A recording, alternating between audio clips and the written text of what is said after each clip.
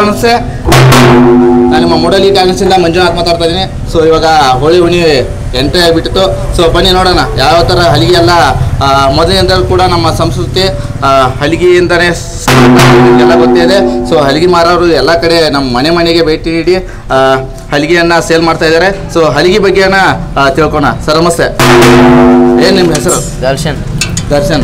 ಎಷ್ಟು ವರ್ಷದಿಂದ ಇದನ್ನ ಹಲಿಗೆ ಮಾರೋದು? ಇದು ಹನ್ನೆರಡು ವರ್ಷದಿಂದ ಚಾಲು ನಾನು ಹನ್ನೆರಡು ವರ್ಷದಿಂದ ಹಾ. ಸೊ ಯಾವೆಲ್ಲ ರೀತಿಯ ನೀವು ಹಲಿಗೆ ಎಲ್ಲ ಸಿಗ್ತಾವೆ ನಿಮ್ಮ ಕಡೆ? ನಮ್ಮಂತೆ ಅಂತ ತರ್ತೀವಿ ಎಲ್ಲ. ಹಾಂ ಹಾಂ. ಇಲ್ಲಿಂದ ಹಾ. ಇದು ಯಾವ್ದು ಹಲಿಗೆ? ಇದು ಹಳಿಗೆ ಅಂತಿದೆ. ಹಾಂ. ಹಲಿಗೆ ಮಾತ್ರ ಇಲ್ಲಿಗೆ ಇರ್ತಿ ಹಾ ಹಳಿಗೆ ಈಗ ಎಷ್ಟು ದಿನ ಆಯ್ತು ನೀವು ಸ್ಟಾರ್ಟ್ ಮಾಡ್ಬೇಕು? ಸ್ಟಾರ್ಟ್ ಮಾಡಿ ಒಂದು ವಾರ ಆಯ್ತು. ಒಂದು ವಾರ.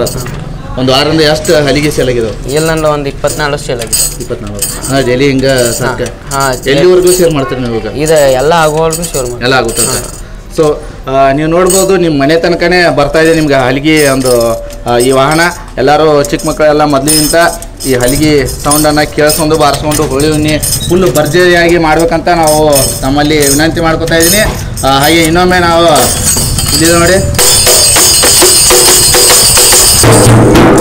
ಓಕೆ ನಿಮ್ಮ ಮನೆಗೆ ಹಲಗಿ ಬರ್ತಾ ಇದೆ. ಎಲ್ಲರೂ ಫುಲ್ಲು ಧಾಮ್ ಧೂಮಾಗಿ ಹೋಳಿ ಹುಣ್ಣಿ ಆ, ಮಾಡೋಣ ಅಂತ ಹೇಳ್ತಾ ಹೋಳಿ ಹುಣ್ಣಿಯ ಶುಭಾಶಯಗಳೊಂದಿಗೆ ಈ ಹುಡುಗ ಹಲಿಗೆ ಮಾರೋಕ್ಕೆ ಬರ್ತಾ ಇದ್ದಾನೆ. ಸೊ ಎಲ್ಲರೂ ಕೊಂಡ್ಕೊಂಡು ಎಲ್ಲರಿಗೂ ಒಳ್ಳೆಯದಾಗಲಿ ಅಂತ ಹೇಳ್ತಾ ಧನ್ಯವಾದಗಳು.